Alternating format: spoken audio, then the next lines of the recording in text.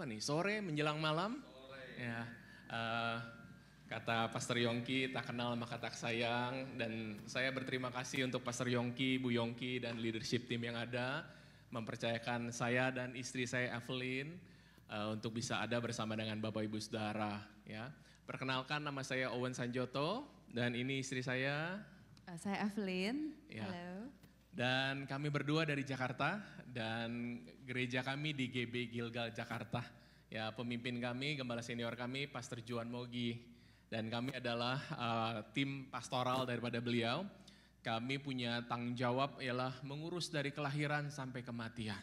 Ya, dari mulai anak lahir, dari kids, youth, teens, college, ibadah umum, ibadah wanita, ibadah pria, ibadah senior, ibadah penghiburan, pernikahan, pranikah, perceraian, eh ya perceraian ada penistrinya ya.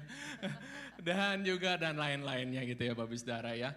Dan hari ini uh, saya bersyukur kepada Tuhan karena saya jarang-jarang bisa pelayanan bareng bersama dengan istri saya ya. Dan kali ini sebuah kesempatan yang eh, kami bersyukur gitu ya Pertama karena waktu kami sulit tuh kami pergi berdua, yang kedua karena mahal gitu ya. Nah jadi uh, sebuah anugerah, terima kasih Pastor Yongki, Bu Yongki sudah kasih kesempatan kami berdua bisa ada di tempat ini. Dan hari ini saya mau berbicara ke sebuah tema uh, mengenai pernikahan. Uh, tema saya adalah better marriage. Dan kami berdua tahun ini memasuki usia pernikahan yang ke-20 tahun ya. Jadi nanti uh, November, November 20 tahun Ya, kalau total dengan pacaran 23 tahun berarti ya. Dan eh, bersyukur kami berdua ada di sebuah gereja, yaitu di GB Gilgal, yang bisa menjadi teladan dan menolong kami untuk bisa melewati hari-hari kami hingga hari ini. Ya. Nah, Bapak Saudara, saya adalah um, uh, lahir di sebuah keluarga yang punya culture-nya Chinese Toto. Ada yang sama kayak saya? Ada? Chinese Toto. Bapak saya bisa Hong Sui, bapak saya ngitung hari, bapak saya ya, ya cek-cek banget lah gitu ya, kalau bahasanya gitu ya. Nah jadi saya nggak pernah melihat bahwa uh, orang tua saya itu romantis di rumah. Di luar apalagi gitu ya. Saya hampir tidak pernah melihat papa mama saya gandengan tangan. Ngomongnya baik-baik itu jarang ya yang lebih sering yang saya lihat adalah bagaimana ngomongnya tuh ya lu lu gue gue kadang-kadang kasar ya kadang-kadang ribut dan itu yang ada dalam memori saya. Nah sehingga pada waktu saya kenal Tuhan tahun 1997 saya ada di GB Gilgal saya melihat sebuah gambaran yang berbeda. Saya melihat uh, ya se, sepasang teladan itu Om Wem dan Tante uh, papa mamanya dari Pastor Juan saya melihat mereka udah senior tapi mereka kok bisa romantis gitu ya. Mereka bisa gandengan, mereka bisa kitik-kitikan, mereka bisa bercanda. Pemandangan ini langkah. Dan sejak itu saya punya pemikiran begini, kalau saya mau menikah nanti, saya mau punya pernikahan yang baik. Saya mau punya pernikahan yang berbahagia, dan karena saya melihat bahwa pernikahan yang seperti itu ada, itu memberikan pengharapan buat saya khususnya, bahwa pernikahan yang berbahagia itu bisa loh terjadi gitu ya.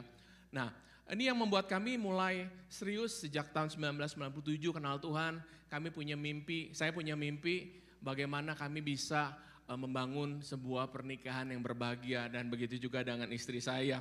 Nah hari ini saya mau mengajak Bapak Saudara untuk mengerti uh, mengenai pernikahan ini ya. Tentu saja saya percaya berapa banyak daripada Bapak Saudara di sini yang mau kehidupannya lebih baik. Yang mau uangnya lebih banyak, yang mau rumahnya lebih besar, yang mau kehidupannya, wow luar biasa. Mau katakan? Yes. Tapi hari ini, sore hari ini saya mau mengajak Bapak Saudara. Ya, bukan hanya kita memikirkan uang lebih banyak, bukan hanya memikirkan pekerjaan karir yang lebih baik, tapi saya mau mengajak kita mengerti kita juga bisa membangun pernikahan yang lebih baik. Ya, jadi hari ini saya mau mengajak Bapak Saudara untuk kita sama-sama kita ayo kita bangun pernikahan kita. Kenapa? Karena pernikahan adalah isi hatinya Tuhan. Kalau Bapak Saudara baca firman Tuhan, kita buka di kitab kejadian yang pertama kali diciptakan Tuhan, bukan gereja, bukan uh, perusahaan, bukan institusi sosial, tapi yang pertama kali yang Tuhan bentuk adalah pernikahan pernikahan. Kejadian 1, 26, 27, 28. Marilah kita membentuk ya dengan serupa dengan segambar.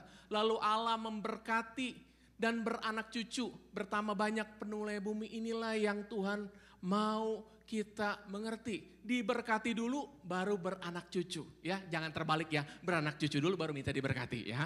Nah, ini yang firman Tuhan ajarkan kepada kita dan dan inilah isi hati Tuhan. Dan saya percaya di tengah-tengah perjalanan kita kita mungkin bisa lupa. Mungkin kita bisa enggak terlalu memperhatikan. Mungkin kita lebih memikirkan bagaimana caranya uang lebih banyak. Bagaimana caranya kita dapat penghidupan yang lebih baik. Bagaimana caranya kita bisa dapat karir yang lebih lebih tinggi lagi. Tetapi hari ini saya mau mengajak Bapak Saudara, mari kita renungkan kembali bahwa kita juga bisa membangun pernikahan kita ya dengan lebih baik. Kejadian 2 ayat 24 dikatakan, sebab itu seorang laki-laki akan meninggalkan ayahnya dan ibunya dan bersatu dengan istrinya sehingga keduanya menjadi satu daging. Nah Bapak Saudara, kalau kita baca baik-baik itu ya, bersatu ya adalah sebuah proses mungkin dalam namanya pernikahan. Nah menjadi satu itu mudah. Kalau di Indonesia untuk menjadi satu menikah harus diberkati secara agama dulu, baru bisa catatan sipil, baru diakui secara negara. Namun ngobrol-ngobrol sama Pastor Yongki kemarin di Amerika ternyata mau bersatu mudah ya Pak Yongki ya. Uh, ternyata ada drive thru-nya katanya ya. Untuk menikah itu mudah. Nah tapi saya melihat bahwa tetap yang menjadi proses apa menjadi satu itu mudah.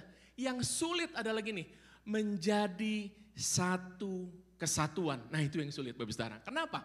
Karena suami dengan istri punya latar belakang yang berbeda.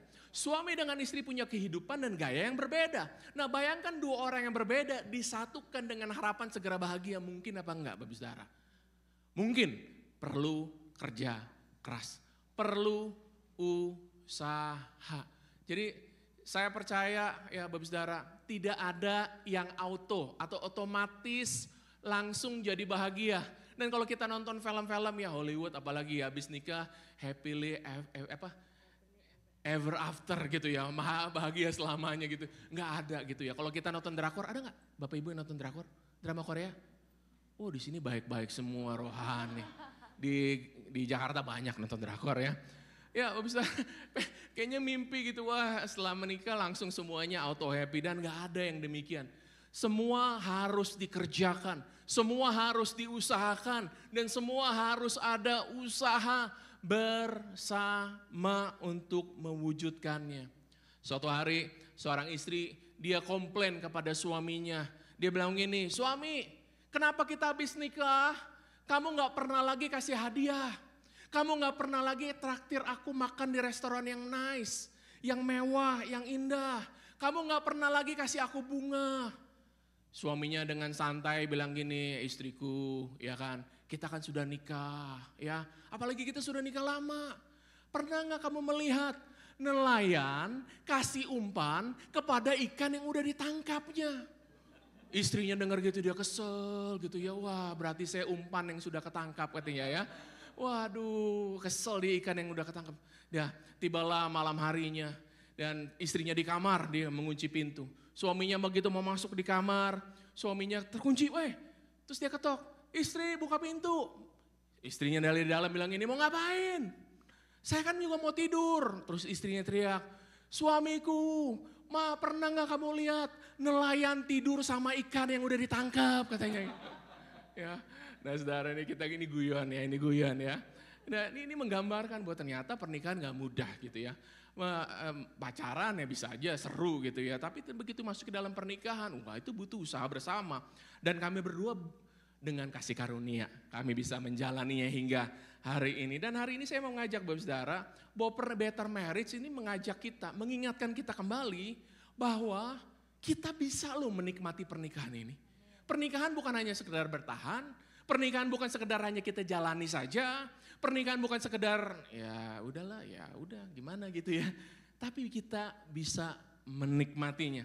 Yang kedua adalah kita bisa meningkatkan kualitas daripada pernikahan kita. Kalau hari ini kita posisi seperti ini, kita bisa naikkan lagi kualitasnya. Dan kita bisa meningkatkan lagi kualitasnya. Dan kita bisa bawa lagi menjadi lebih baik dan lebih baik lagi. Mungkin saudara berkata, saya sudah nikah udah lama. apa yang saya bisa lakukan.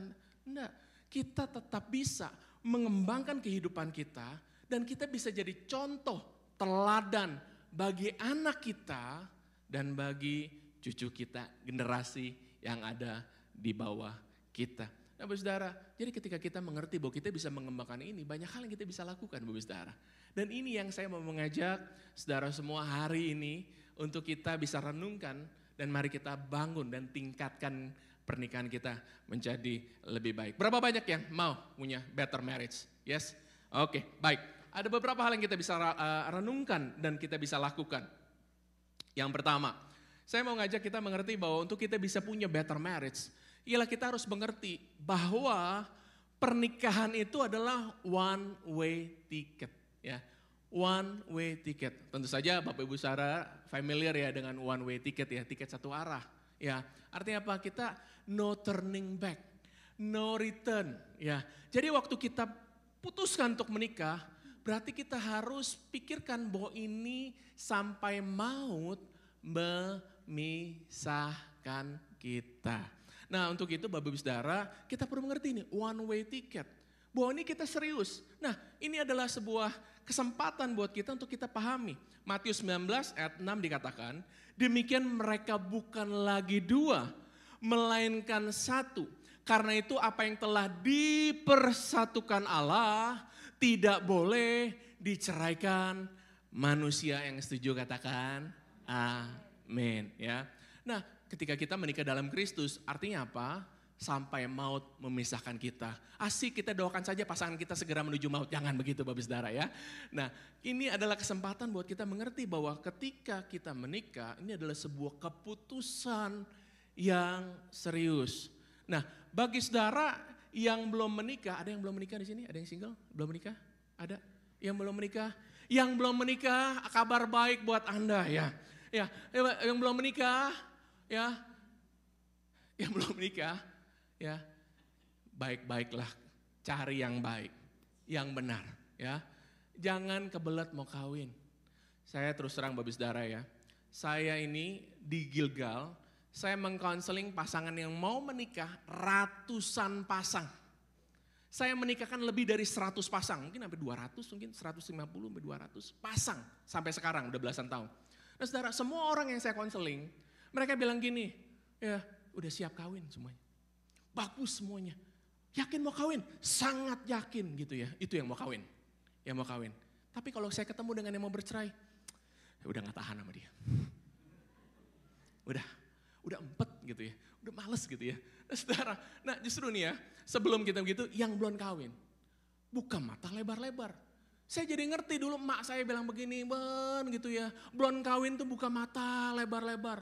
Kalau udah kawin katanya, tutup mata sebelah kalau perlu ngedip-ngedip aja gitu. Ya, gitu ya Bu Yongki ya. Artinya apa? Belum belum kawin, lihat dengan benar, ya. Lihat dengan benar, buka mata lebar-lebar dan kalau sudah sedang membangun hubungan, ya ikuti bimbingan pranikah, ikuti counseling sama Pastor Yongki, minta dibimbing, diarahkan supaya bisa membangun fondasi dengan benar. Ya, tanya, ini benar loh, ya, Bu Saudara ya uh, kita sebagai counselor, sebagai pemimpin, kita tuh punya kepekaan tertentu untuk melihat orang yang ada di depan kita tuh seperti apa. Itulah anugerah yang Tuhan berikan. Jadi kita waktu kita uh, kita ketemu dengan pasangan yang mau menikah dan dan dan kita bisa berikan advice buat pasangan itu ya untuk kepentingan daripada pasangan yang mau menikah ataupun yang sedang membangun hubungan. Nah, Saudara, ikuti kelas-kelas pranikah gitu ya. Jangan skip ini bilang ya ya kalau bisa segera kawinkan saya saja, jangan mempersulit gitu, jangan saudara ya. Dan kalau perlu doa puasa gitu ya. Doa puasa kalau di Amerika susah nggak Pastor Yongki? Susah ya? Susah, makanya anak-anak semua gitu ya. doa puasa kalau perlu, kenali dulu sampai yakin baru masuk dalam pernikahan karena menikah adalah one way ticket. Itu buat yang belum menikah.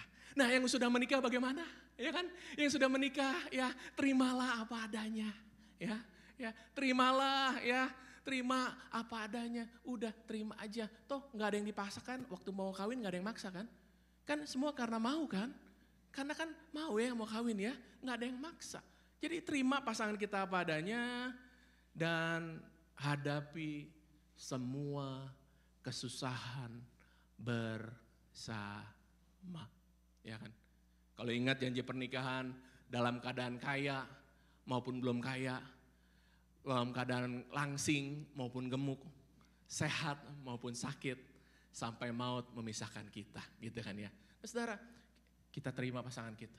Nah hari ini mengingatkan kita bahwa ketika kita sudah menikah, karena itu pun juga keputusan kita, jangan salahkan Tuhan. Ya. ya. Jalani proses ini dengan baik dan minta anugerah sama Tuhan bahwa Tuhan sanggup lakukan hal-hal yang luar biasa dalam pernikahan kita. Nah, untuk itu ya e, menikah itu bisa membuat kita bisa merasakan sorga atau neraka di dalam kehidupan ini.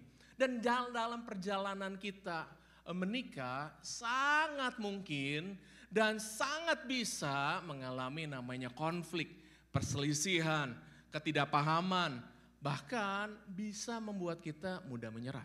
Membuat kita berpikir gini, sudahlah ya, ya, ya sudahlah ya, udah kita berhenti aja. Dan sering saya ketemukan dalam konseling-konseling alasannya begini, ya, ya saya kan juga berhak bahagia. Saya mau pisah aja, saya udah gak tahan, ya. Mumpung saya masih muda, mumpung masih ada yang mau, saya mau pisah aja, ya. Ya sudah, karena ini udah gak bisa dipertahankan lagi, saya udah gak sanggup lagi. Nah, saudara alasan-alasan saya sering dengar demikian gitu ya. Dan semua karena alasannya karena perasaan. Ingat, Pernikahan bukan sekedar perasaan. Pernikahan adalah sebuah keputusan yang kita pilih sendiri, saudara. Dan perasaan itu akan mengikuti keputusan kita. Dan hari ini saya mau mengajak Bapak Saudara ya untuk kita membangun pernikahan kita dengan baik. Menikah adalah sekolah seumur hidup. Sekolah yang tidak ada wisudanya ya sampai mau memisahkan adalah pernikahan gitu ya. Jadi sekolah eh, pernikahan adalah tempat di mana orang-orang yang mau belajar menjadi lebih baik tempat orang-orang yang mau mengorbankan egonya, belajar untuk mengasihi dan meminta anugerah Tuhan di dalam pernikahan dan kehidupan kita. Silakan, istriku. Ya, saya mau menyampaikan sebuah kesaksian dalam pernikahan kami. Kalau mau dibilang it's easier talking than doing ya. Lebih gampang ngomong daripada melaksanakan ya siapa yang setuju sama saya boleh angkat tangannya. Ya dan ini pun yang terjadi dalam pernikahan kami. Meskipun kami sebelum uh, menikah mengikuti begitu banyak tahapan mengikuti banyaknya proses kami dibimbing dengan Pastor Juan kami diajarkan di dalam kelas-kelas bimbingan pranikah uh, kami melakukan doa, puasa, pokoknya semua yang barusan suami saya ngomong itu semua yang kita lakukan. Ya, kami nggak skip sama sekali. Namun memang di dalam pernikahan proses harus terjadi. Proses itu memang untuk membuat saya dan suami menjadi lebih serupa dengan Kristus. Karena tujuan pernikahan adalah membuat setiap dari uh, pribadi yang ada di dalam itu bukan menjadi Superman dan Superwoman bukan disuruh jadi Batman and Catwoman, enggak, tapi supaya kita menjadi serupa Kristus karena ada gambar Kristus yang harus dimunculkan lewat kehidupan kita. Dengan demikian anak-anak kita, lingkungan yang ada di sekitar kita itu bisa melihat, oh pernikahan di dalam Tuhan itu begitu ya. Jadi kita bisa jadi teladan, kita bisa jadi berkat bagi siapa pun juga yang melihat kehidupan kita. Nah kami me mengenali sebuah proses ini dengan sebuah uh, apa ya kalau saya mau bilang sebuah contoh ya. Jadi bagaimana caranya menyatukan dua pribadi yang berbeda? Bagaimana satu ditambah satu sama dengan satu? Bagaimana caranya kira-kira? Satu ditambah satu hasilnya tetap satu. Berarti yang satu harus dipotong setengah, yang satu lagi harus dipotong setengah, baru hasilnya sama dengannya jadi satu. Menjadi satu daging tuh seperti itu. Ada ego yang harus kita potong, ada kebiasaan jelek yang kita bawa, yang kita harus berhenti, ada perkataan-perkataan yang kita harus ganti supaya pasangan kita juga bisa merasakan oh iya dia berubah, saya berubah, dan menjadi satu daging. Sulit sebenarnya bagi dua orang pribadi untuk menjadi satu. Yang bilang sulit dan sama-sama pernah merasakan sulit boleh kasih angguk-angguk aja jadi pasangannya nggak ngeliat di samping ya angguk-angguk aja kecil gitu ya. Ya karena memang itu sulit. Ada gesekan, ada konflik, ada adjustment, semuanya campur jadi satu jadi kayak gado-gado. Tapi gado-gado itu kalau tidak ada campurannya itu enak nggak? Misalnya cuma pare doang, enak nggak? Nggak enak ya, harus ada tahunya, harus ada taugenya, benar ya, harus ada tempenya, lalu ada bumbunya, semua itu harus dicampur jadi satu, ditambahin bawang goreng sama kerupuk baru dimakan. Itulah jadi nggak bisa cuman uh, saya saja yang berubah atau kamu saja yang berubah. Nggak bisa. Dua pribadi ini perlu sama-sama punya hati yang rendah hati, mau berubah, mau bertobat. Kadang uh, suami dan istri itu punya kebiasaan-kebiasaan yang tidak mau nggak mau dihilangkan ya. Harus bertobat karena tujuannya kita perlu menjadi serupa Kristus bukan menjadi superwoman atau superman. Enggak, Tuhan enggak panggil kita jadi superman dan superwoman. Tidak ada pasangan yang perfect. Tidak ada pasangan yang sempurna. Ya meskipun kami juga hamba Tuhan, eh, kami juga eh, melayani, tapi kami juga mengerti bahwa tidak ada yang sempurna. Dan kesempurnaan itu bukan milik manusia namun milik dari Tuhan. Jadi tugas kita bukan cuma sekedar inget-inget pengen aja. Kadang aduh kepengen ya melihat kayak saya boleh pakai contoh Pak Yongki ya Bu Yongki ya. Pengen ya kayak Pak Yongki Bu Yongki bisa akur bisa baik bisa ada sampai hari ini gitu ya. Pengen bisa mesra gitu ya. Sama-sama uh, sayang sama-sama bisa saling support gitu dalam keadaan apa pun. Tapi kadang kepengen doang itu nggak cukup. Bapak Ibu kita perlu lakukan kalau memang kita mau mencapai sesuatu, kita harus ada effort, ada usaha untuk kita bisa melangkah ke sana. Ya. Jadi prinsip one way ticket ini yang akan memberikan pegangan bagi saya karena saya dan suami masih berjalan dalam pernikahan dan bagi kita semua. Karena kita tahu kalau one way ticket artinya tidak ada jalan kembali. Berarti apa yang saya harus jalani dalam proses kehidupan saya ya saya harus lakukan jalani berlututlah lebih banyak. Ya, berlututlah di hadapan Tuhan lebih banyak. Karena manusia tidak bisa mengubahkan manusia. Hanya Tuhan yang bisa mengubahkan manusia. Kita mau lihat istri kita berubah, kita mau lihat suami kita berubah, jangan cuma ngomel, ngoceh, ngedumel. Tapi ambil waktu untuk bisa berdoa berubah karena berdoa mengubahkan hati kita. Berubah eh, berdoa itu mengubahkan juga hati dari pasangan kita. Yang setuju boleh sama-sama bilang yes. Ada harapan. Amin. Amin. Ya, silakan lanjut Pak Owen. Baik, itu prinsip yang pertama, bagaimana kita mengerti bahwa pernikahan adalah one way ticket. Nah, yang kedua yang kita bisa lakukan untuk membangun pernikahan yang, ber, yang lebih baik, better marriage adalah kita perlu uh, membangun kesepakatan dalam pengelolaan keuangan. Ya, nah uh, salah satu sumber konflik di dalam keluarga adalah uang. Ya, dan salah satu keributan ini adalah karena salah prioritas mengenai uang. Ada yang merasa uang adalah segalanya, uang adalah nomor satu. Ya, ada yang merasa bahwa uang itu nggak perlu dibicarakan, cukup dipakai saja dan dihabiskan gitu ya. Dan sering kali itu menjadi sebuah konflik, sumber konflik yang akhirnya memicu kepada perpisahan. Dan kehidupan kita sebagai manusia, kita nggak lepas dari uang. Setiap hari kita bangun pagi, ya kita memikirkan bagaimana memaksimalkan uang, mendapatkan uang, mem memberi soal keuangan, menginvestasikan, uh, semualah mengenal uang. Dan dan ketika kita tidak bersepakat mengenai pengelolaan keuangan dengan suami dengan istri, maka itu membuka celah sehingga konflik bisa muncul di dalam kehidupan rumah tangga kita. Sehingga kita perlu mempunyai yang namanya sepakat. Amos 3 ayat 3 dikatakan, berjalankah dua orang bersama-sama jika mereka belum berjanji. Nah sering kali dalam, dalam, dalam pernikahan uang adalah salah satu yang tabu untuk dibicarakan. ya Karena berpikir gini, ya menikah ya duit lu, duit lu, duit gua, duit gua, begitu ya. Kalau di Jakarta begitu, di sini saya nggak tahu. Ya, nah, nah, padahal ya yang sebenarnya adalah sebelum menikah, uangku adalah uangku, uangmu adalah uangmu. Nah setelah menikah, uangku adalah, uangmu adalah uang kita. Ya, ya. Ini yang firman Tuhan ajarkan kepada kita.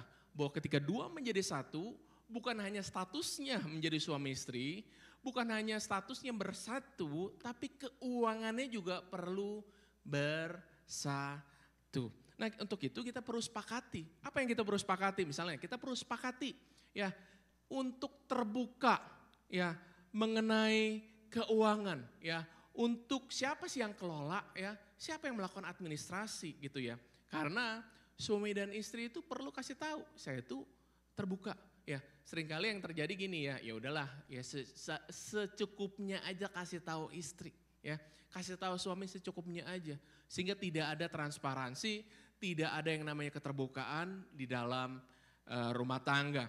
Nah hari ini saya mengajak untuk kita, kalau kita menikah, kalau kita menikah dengan seorang berarti kita harus percaya kepada orang tersebut. Bahwa orang tersebut adalah bisa dipercaya mengenai keuangan. Sehingga kita perlu terbuka mengenai berapa sih yang kita punya, berapa yang kita dapatkan, berapa banyak yang kita butuhkan, dan berapa banyak hal-hal yang dibutuhkan dalam pernikahan. Dan kita perlu bicara itu dengan baik. Kita perlu perlu terbuka. Uh, misalnya untuk membantu keluarga, kadang-kadang pernikahan juga kita butuh bantu keluarga yang ada di uh, Indonesia kah, kita perlu bantu orang tua atau yang lainnya gitu. Kita perlu sepakat dan jangan nggak boleh diem-diem, nggak boleh diem-diem. Ya gue yang kerja, ya saya kerja, saya dapat duit, saya diem-diem aja deh, saya kasih gitu ya, tanpa pasangan saya tahu, sehingga tidak menimbulkan sebuah yang namanya kepercayaan di dalam rumah tangga.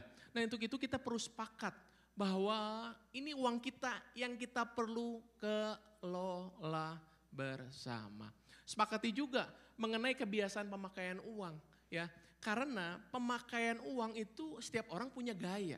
Ada yang gayanya gini, uh, hemat luar biasa, tahu hemat luar biasa. Ada yang gayanya borosnya luar main, ya luar biasa gitu ya. Yang boros banget gitu. Nah bayangkan kalau satu pasangannya adalah hemat luar biasa, pasangannya yang lain adalah uh, boros luar biasa, bagaimana rumah tangga. Yang satu ngegas terus, yang satu ngerem terus gitu ya, ribut pasti. Nah kita perlu sepakati ya kebiasaan pemakaian uangnya seperti apa. Ada juga yang uh, pasangannya yang murah hati ya, murah hati. Yang lain adalah yang pelit gitu ya. Ada yang lebih mengutamakan makanan ya, ada tuh orang-orang yang pokoknya uh, apa makan. Mau makan apa? Oke, berani gitu ya. Tapi ada yang bilang jangan makanan nggak perlu, yang penting penampilan nomor satu, ya.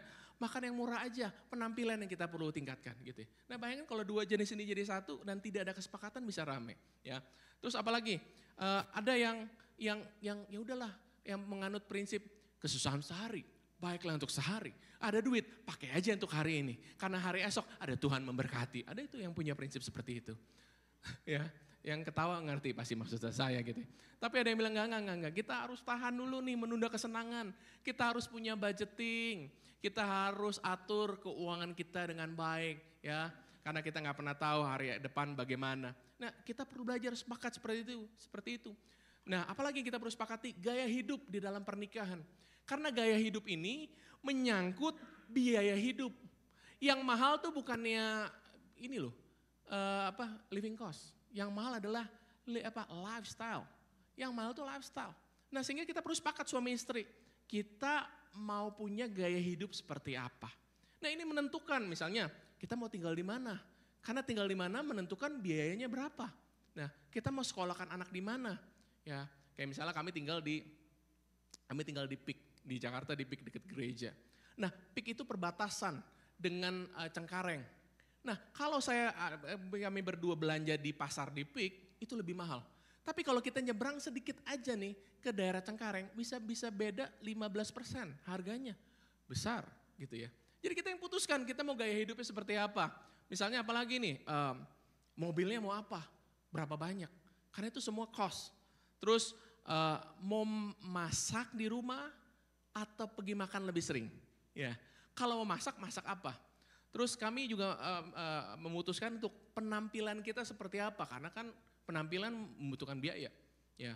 Dan juga kita mau mau lifestyle kita, okay, liburannya mau ngapain, ke mana, berapa lama dan lain kita kita semua sepakati dan apa yang barang-barang yang kami pakai karena semua menyangkut biaya dan kami mau kami punya sebuah kesepakatannya. Dan kami belajar bersama-sama bagaimana kami terbuka dan sepakat di area keuangan ini. Nah, saudara, saya uh, menikah di tahun 2004. Nah, menikah kami 2004, saya uh, kan kami pacaran tiga setengah tahun, ya. Karena pacaran tiga setengah tahun, kami uh, kenalin, saya belajar kenalin. Tapi saya pikir saya sudah cukup mengenal gitu ya, istri saya dan istri saya cukup mengenal saya. Sampai kami pergi liburan, kami pergi honeymoon, ya kami pergi ke uh, luar negeri waktu itu. Nah ketika kami di luar negeri, karena saya sebagai suami kan saya bilang sama istri saya, sayang ini uang pakai silahkan, kamu mau beli apa, karena kita sudah siapkan untuk itu. Honeymoon kan ya, mau happy-happy gitu ya. Nah di akhir honeymoon, saya tanya sama istri saya, kamu belanja apa saja buat kamu? Kamu beli apa saja dengan uang yang saya sudah kasih. Terus dia ketawa-ketawa, hehehe, ini loh saya beli ini, ini buat mama, ini buat adik, ini buat teman, ini buat kucing tetangga, ini buat semuanya dibeli. Loh, loh, loh, loh, loh, loh, loh, loh, loh, loh, loh. Saya tanya, yang buat kamu mana? Aku nggak beli apa-apa. Waduh, saya kaget, ya ampun, saya kasih kamu uang buat kamu nikmati sendiri. Kamu kasih buat kucing orang, tetangga. Ya ampun gitu ya. Dan di situ kami saya menyadari bahwa kami punya perbedaan yang begitu rupa. Dan singkat cerita setelah pulang honeymoon kami mulai bikin kesepakatan banyak. Ya, kami belajar untuk terbuka mengenai keuangan. Kami belajar sepakat siapa yang megang uang. Ya, ya mungkin megang uang tapi keputusannya bersama. Yang melakukan administrasi itu siapa? Ya, bukan berarti uh, suami yang harus pegang atau istri yang harus pegang, tapi kami sepakati siapa yang yang lebih baik untuk melakukan administrasinya. Dan kami sepakati, misalnya uh, gaya hidup yang kami mau, ya. Karena kami juga sepakat bahwa kami pegang prinsip bahwa cukupkanlah dirimu dengan apa yang ada dengan kita. Kalau kita diberkati demikian, kita cukupkan. Ya, kita kita kita sepakat, wah, kita nggak mau hutang untuk lifestyle kita nggak mau pakai uang untuk sesuatu yang yang keinginan ya karena kami tahu kami perlu bijaksana di dalam area ini. Kami sepakat akhirnya memberi ya. Kami pola kami memberi seperti apa? Karena istri saya ini dia itu sinterklas. Nah, ini sinterklasnya. Saya petitamnya gitu ya. ya, ya. Tapi belajar gitu ya bagaimana kami uh, jas dan kami tahu kami tahu bagaimana kami harus belajar menjadi orang yang lebih baik. Ini percaya banyak hal di dalam kehidupan ini. Kami belajar untuk pengelolaan keuangan yang bijaksana. Kami sepakat, kami harus memberikan perpuluhan. Kami harus memberikan buah sulung. Kami harus menabur. Kami harus mengambil bagian untuk memberi untuk kerajaan. Dan kami sepakat saudara. Saya masih ingat ini ketika kami gereja kami pembangunan Gilgal yang yang sekarang gedung gereja ini uh, ada uh, Pastor Juan sharing mengenai mimpi dan visi ini bagaimana membangun gereja yang saat ini yang yang belum terbangun pada waktu itu. Saya masih ingat hari itu saya duduk di depan uh, Pastor Juan khotbah dan dia cerita bagaimana yuk kita sama-sama ambil bagian untuk pembangunan. Ya, saya diam gitu ya, tiba-tiba Roh Kudus ngomong di hati, "Yuk, kasih." gitu ya. Saya saya bilang, "Oke, okay, saya diam aja karena Tuhan berbicara spesifik di hati saya." Begitu pulang sama istri saya, kita ngobrol. Ya, kita saya, kita nego. Aduh Tuhan, mau kasih apa lagi ya? Hidup sudah kita kasih, kita sudah jadi hamba Tuhan sepenuh waktu. Tuhan mau apa lagi? Tuhan kasih spesifik, Tuhan mau saya punya deposito. Ya, karena waktu saya berhenti jadi uh, uh, memutuskan untuk full time, saya bos saya kasih saya golden shake hand dan saya pakai itu untuk deposito. Saya sebagai ban serap kalau saya jadi hamba Tuhan nanti kurang makan saya cairin deposito gitu ya. Dan roh kudus ngomong itu tuh ya deposito cairin, cairin. Buat saya bergumul berat, buat istri saya udah kasih aja. Enak aja loh, gue yang kerja setengah mati. ya, kasih aja. Enggak, saya bergumul, jujur saya bergumul saudara ya. Saudara bisa ketawain saya bergumul benar-benar saudara. Tapi singkat cerita setelah sekian lama roh kudus bicara dengan lembut, akhirnya saya putuskan untuk memberi. Memberi. Ketika saya transfer, saya cairkan, saya transfer itu damai sejahtera itu mengalir. Tapi depositonya selesai, saya berikan kepada rumah Tuhan, saudara. Nah, saya, belajar, kita masih terus belajar bagaimana mengelola keuangan. Ya, kami terus belajar dan sampai sampai kami mengerti, oh ini seperti ini. Dan kami bersyukur, kami belajar terus terbuka dalam hal sekecil apa pun. Dan goalnya adalah bagaimana kami membangun kesepakatan ini. Ya, berikutnya istriku. Oke, seru ya kalau ngomongin uang.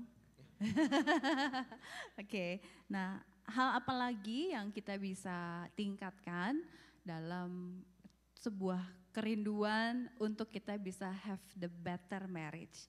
Ya, yang ketiga mengembangkan komunikasi yang sehat. Ya, uh, komunikasi itu artinya menyampaikan pesan sehingga bisa diterima pasangan dengan baik.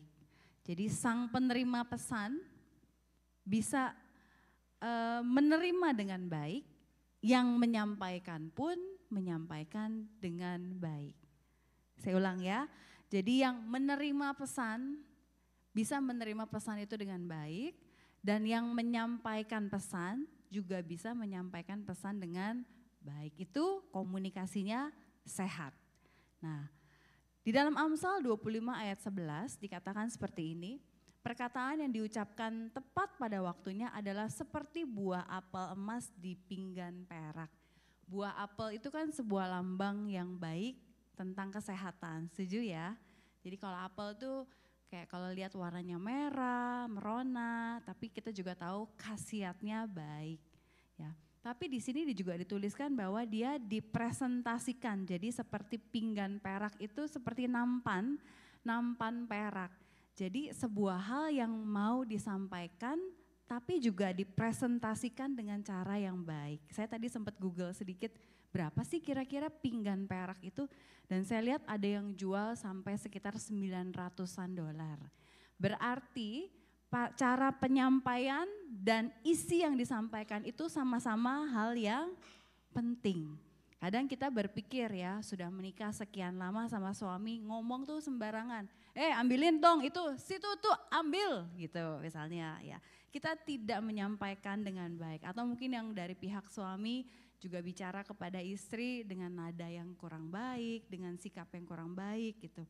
Jadi belajar dari firman Tuhan hari ini kita tahu bahwa isi dari yang kita mau sampaikan dan cara penyampaiannya dan waktu penyampaiannya pun perlu diperhatikan jika kita mau punya better marriage, jika kita mau komunikasi kita juga sehat.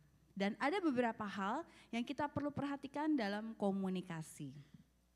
Yang pertama, jangan kasih asumsi, jangan asumsi. Jadi kadang wanita itu, ini saya, ini bagian ini saya ngomong karena relate sama kehidupan wanita dan kebetulan saya juga wanita. Kebiasaan wanita itu tidak mau mengungkapkan secara terang-terangan. Kita senang banget untuk bisa muter ke kiri, ke kanan, ke atas, ke bawah gitu ya, berharap hin-hin nih atau uh, kita bisa membuka mata dari sang pasangan kita untuk bisa cepat ngerti gitu ya. Nah ini sebuah pelajaran yang saya juga pelajari bertahun-tahun. Kadang wanita itu seneng senengnya tuh begitu gitu loh, nggak mau straight to the point aja.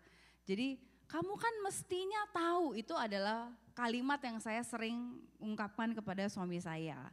Ya, kamu kan mestinya, kamu kan mestinya itu. Jadi sebuah tuntutan-tuntutan gitu ya. Lama-lama pada jadi ada ada sebuah ada sebuah seminar saya juga terus mengikuti dan pembicaranya bilang kamu pikir suami kamu itu cenayang Dukun, kamu pikir suami kamu tuh dukun? Hah? Sebelum dia ngom, sebelum kamu ngomong dia udah tahu, bukan dia manusia biasa. Jadi kalau kamu terus menuntut, ya dia juga begah juga gitu, risih juga gitu akhirnya. Akhirnya saya coba untuk bisa uh, bicara dengan lebih ya to the point apa adanya. Jadi kalau ditanya mau makan apa, saya akan sebut ya saya mau makannya ini, saya mau makannya itu ya. Jadi eh, komunikasi ini karena kita lakukan sehari-hari. Ya, sehari-hari itu berapa banyak dalam satu hari? Coba saya buka sebentar ya. Uh, riset dari Arizona University dan uh, manusia itu bisa bicara rata-rata 16.000 kata per hari. Dan ada sebuah buku yang ditulis oleh Lou Ann Brizendine berjudul The Female Brain mengungkapkan bahwa wanita berbicara 20 ribu kata per hari sehingga sedangkan pria hanya 7 ribu. Jadi ini sebuah uh, penelitian dan ini juga menjelaskan kenapa wanita berbicara lebih banyak daripada pria. Jadi dari sananya Tuhan sudah ciptakan seperti itu. Dari sananya Tuhan sudah menciptakan wanita yang memang banyak ngomongnya dan pria lebih sedikit ngomongnya. Jadi kalau misalnya mau menikah sama wanita ya harus siap-siap, harus tahan karena banyak ngomongnya gitu. Kalau nggak mau menikah sama wanita ya udah gitu. Tapi kan saya rasa sisi mau ya, pria mau menikah sama wanita benar ya. Jadi jangan nanti sudah menikah pas pas, pas pacaran mungkin oke, okay, tapi begitu sudah menikah kok lu bawel banget sih? Perasaan dulu lu gak begitu, karena itu yang terjadi sama saya. saya kan orangnya tenang, diem, kalem ya, eh, nggak terlalu banyak bicara gitu. Tapi begitu sudah menikah, suami saya sampai terkaget-kaget, lu bawel juga ya ternyata ya gitu. Jadi memang dari sana, ya dari situ nggak ambil untung gitu ya, bener ya. ya jadi yang pertama itu jangan asumsi, lalu kita juga perlu untuk belajar jaga intonasi. Ya, uh, saya ini, papa saya itu orang dari Jawa Timur, jadi Jawa ya, istilahnya orang Jawa. Nah, suami saya ini uh, orang Jakarta. Jadi kalau saya sama papa saya, papa saya itu bicara juga pelan, tenang, kalem, ya begitu menikah, kan kalau pacaran kan paling ketemunya berapa lama sih sebentar ya, nggak ada lama-lama gitu. Dan uh, pada saat menikah ketemu kan udah setiap hari gitu ya. Dan waktu lagi berkomunikasi, kadang-kadang saya merasa, bukan kadang, sering saya merasa, ini kok kalau ngomong sama saya, saya rasa saya dimarah-marahin gitu, padahal cuma biasa aja gitu. Ya ternyata intonasi itu pengaruh. Jadi mungkin saya, saya yang merasa, karena yang ngomong suka nggak merasa, betul? Jadi yang ngomong suka bilang, enggak biasa aja. Kamu lah terlalu perasa lah, kamu lah terlalu sensitif jadi wanita gitu kan. Biasa gitu memang yang ngedengerin, yang nerima nggak berasa, eh, yang merasa gitu. Tapi kami terus belajar, kami terus komuni belajar komunikasi. Karena kami tahu komunikasi itu bukan hal yang sederhana, hal ini kompleks banget setiap hari kita menggunakan mulut kita untuk berbicara kepada siapa pun. Jadi saya rasa dari ayat yang kita sudah baca ini pun kita perlu belajar bukan hanya kepada suami dan istri kita tapi juga kepada anak kita, kepada rekan kerja kita, kepada pemimpin kita, kepada siapa pun kita bisa aplikasikan ini dalam kehidupan sehari-hari. Lalu belajar mendengar yang belajar menjadi pendengar yang baik ini juga yang terjadi dan dilakukan oleh suami saya. Mendengar yang baik itu mendengar dengan dua telinga dan satu hati. Ya, sering kali pada saat berkomunikasi, jadi saya ngomong tapi yang sebelah sananya sembari ngerjain yang lain. Ya, waktu dia sembari ngerjain yang lain kan saya mau make sure aja, kamu denger nggak apa yang saya ngomong. Tapi giliran di make sure yang sebelah sana sensitif, kenapa sih nanya melulu, kenapa sih, kenapa sih, kenapa sih gitu. Kan ya. jadi kesannya kan bodoh gitu kayak nggak ngerti-ngerti ya, tapi emang nggak dengerin gitu ya. ya itu, tapi memang seperti itu kecenderungannya. Tapi kecenderungan itu bukan berarti tidak bisa diubah. Jadi bertobat, uh, sebelah sana bertobat, saya jadi takut. Saya suami saya bertobat, saya juga bertobat dalam banyak hal. Jadi perlu kerjasama antara pasangan suami dan istri karena ini hal yang dilakukan setiap hari. Jadi mendengar itu dua telinga dan satu hati. Jadi mendengarkan tuh uh, mungkin kamu bisa kasih contohnya mendengarkan dua telinga dan satu hati. Jadi kalau istri iya. lagi cerita, kamu mesti gimana? Jadi kalau mendengarkan ya dulu saya berpikir kalau saya mendengarkan istri, berarti istri saya sedang minta solusi, gitu ya. Jadi ketika istri saya cerita, di kepala saya tuh mikirnya begini, oh berarti dia harus lakukan satu, dua, tiga, empat, lima, enam, tujuh banyak itu. Dan ketika dia selesai ngomong, saya kasih tahu kamu mesti begini-gini. Eh malah nangis, malah kesel. Dan biasa begini istri, kamu nggak ngerti apa yang saya rasakan. Saya bilang gimana nggak ngerti, saya udah kasih solusi nggak ngerti. Ternyata ketika istri berbicara cerita itu bukan untuk minta solusi. Ternyata ketika dia berbicara dia sedang mengungkapkan perasaannya. Nah tugas suami hanya merespon dengan benar. Dan merespon dengan benar itu murah loh ya. Responnya gimana? Kalau dia ngomong kita mesti lihat tatap matanya. Pakai hati sambil nganggok-nganggok. Oke. Okay. Oh Ya ampun, oh udah selesai. Masalah selesai. Murah, meriah, dan gak banyak keributan terjadi. Saudara saya belajar saudara, dulu saya gak paham itu ya. Saya pikir sebagai pria sejati saya harus kasih solusi kepada istri saya. Saya harus menolong dia mengatasi semua kebutuhan. Ternyata bukan itu. Ternyata dia cerita adalah hatinya. Dan ketika saya meresponi dengan hati juga, dia merasa diterima, merasa dimengerti. Merasa bahwa oh suami saya tahu dan paham. Dan udah selesai tinggal peluk doain. Selesai, murah, meriah, efektif. ya, jadi belajar merespon juga dengan baik sikap dan gestur dan banyak hal yang kami terus pelajari sampai hari ini. Apa yang kami saksikan ini bukan terjadi dalam satu malam dan terjadi sulap aja simsalabin. Tapi ini adalah proses. Proses setiap hari, proses setiap waktu. Kalau gagal, bangkit lagi dan kami berusaha untuk tidak bilang kamu itu ya tidak akan berubah sama seperti Yesus dari dulu sekarang sampai selamanya. Jangan pasti ada berikan ruang untuk berubah. Pasti pasangan kita bisa berubah. Karena kasih mengalahkan segalanya. Ya, kadang yang lagi ribut itu kasihnya tuh hilang.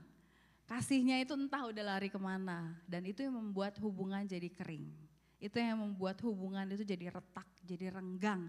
Waktu hubungan jadi retak dan renggang, iblis gampang sekali masuk dan menyusup dan dia bilang, oh ini gampang ini, tinggal tak sentil aja udah rusak semua gitu. Kan tujuan iblis itu ya, dia datang untuk mencuri, membunuh, membinasakan. Tapi Tuhan datang untuk memberikan kehidupan dengan segala kelimpahannya. Ada harapan bagi keluarga-keluarga, ada harapan bagi pribadi-pribadi dalam membangun kehidupan pernikahannya menjadi better marriage. Tantangannya untuk poin ini adalah bagaimana kita dan pasangan menemukan pola komunikasi yang tepat bagi uh, pasangan kita, bagi hubungan suami istri kita. Karena mungkin polanya saya dan suami saya uh, seperti ini, tapi mungkin bapak ibu punya pola yang lain yang bisa juga dikembangkan dan itu menjadi sebuah pola yang baik dan dalam membangun komunikasi yang sehat. Baik, dan saya percaya bahwa ini tiga hal ini bisa menolong saudara untuk bisa membangun, meningkatkan pernikahan yang lebih baik lagi. Dan sebelum saya tutup, saya mau minta teman-teman Presiden Worship boleh bantu saya menyanyi. Kami menemukan sebuah solusi di um, kehidupan pernikahan kami. Karena kami berdua orang sibuk, kami berdua karena kami bekerja melayani sibuk, kami hampir nggak punya waktu untuk berdua. Sehingga kami memutuskan untuk punya cara yang baru dalam berkomunikasi. Kami menemukan cara itu ketika masa pandemik. Masa pandemi kan nggak bisa ke mana-mana ya, nggak bisa ke mana-mana. Tapi kami menemukan sebuah solusi yang baru. Solusinya apa? Kami berdua naik mobil. Naik mobil, kami coba keliling-keliling aja. Nah pada waktu naik mobil, saya kan fokus ya.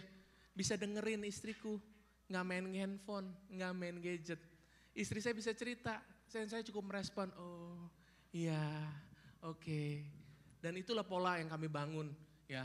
Menjadi salah satu alternatif cara untuk kami terus bisa mencurahkan isi hati satu sama lainnya. Dan saya percaya Bapak Saudara dari tiga hal yang kita bisa lakukan ya. Kita harus memahami bahwa pernikahan adalah one way ticket. Jadi no turning back. Ya, no turning back. Yang kedua adalah ya kita harus membangun kesepakatan di area uang.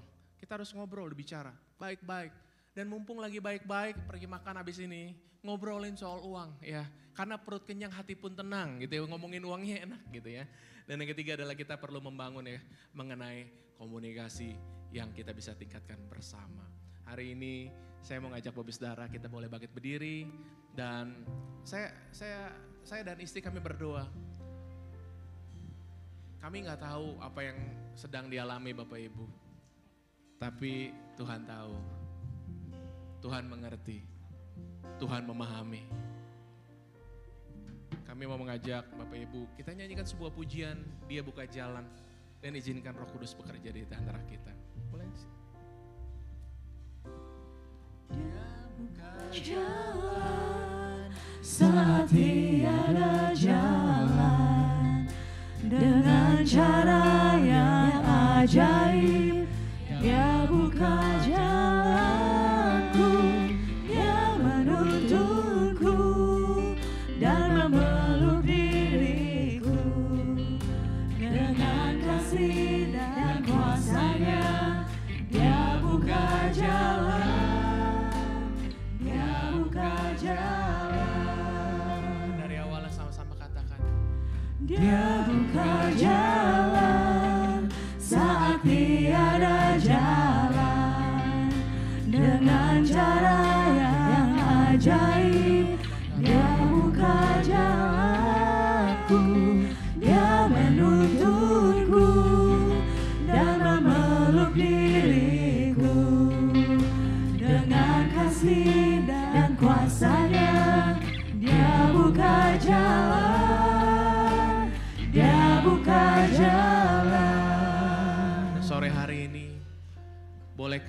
dengan segala kerendahan hati, jika saudara datang dengan suami dengan istri, saudara, saudara boleh menghampiri pasanganmu, gandeng tangannya. Saya mau berdoa buat saudara bagi pernikahan-pernikahan. Tuhan Yesus, Engkau yang buka jalan saat tiada jalan. Kau yang mengerti keadaan setiap pernikahan di tempat ini. Kau mengasihi setiap pasangan pernikahan. Tuhan, kami terbatas. Tapi engkau tidak terbatas Tuhan. Nyatakan kasih-Mu di tengah-tengah kami. Nyatakan Tuhan sukacitamu. Biar ada anggur yang baru mengalir dalam pada setiap pernikahan. Kau berdoa di dalam nama Tuhan Yesus. Biar setiap pernikahan boleh mengalami yang baik. Boleh mengalami lawatan Tuhan. Boleh dipulihkan. Boleh ditingkatkan. Dan kehidupan pernikahan boleh menjadi berkat buat banyak orang. Kau berdoa di dalam nama Tuhan Yesus. Memberkati setiap jemaatmu di BMC New York ini di dalam nama Tuhan Yesus. Biar kau yang buka jalan saat tiada jalan Tuhan. Di dalam nama Tuhan Yesus. Sama, saya juga mau berdoa bagi saudara yang belum menikah yang single. Saya mau berdoa bagi saudara setiap yang single. Aku berdoa Tuhan. Biar ya setiap yang single di tempat ini boleh dipertemukan dengan pasangan hidup yang tepat pada waktunya. Yang terbaik Tuhan. Kau yang tahu pergumulan setiap pribadi Tuhan. Kau yang mengerti dan kau yang mendengar jeritan setiap para single.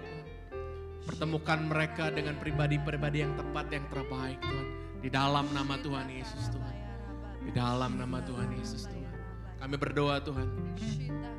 Biar kasih-Mu mengalir. Pengharapan-Mu mengalir. Biar setiap single sungguh-sungguh membuka mata hati mereka. Untuk melihat orang yang mereka dekatin. Ataupun calon pasangan hidupnya dengan baik. Roh Kudus berbicara bagi kami semua di dalam nama Tuhan Memberkati keluarga BMC New York ini. Di dalam nama Tuhan Yesus. Amin. Amin.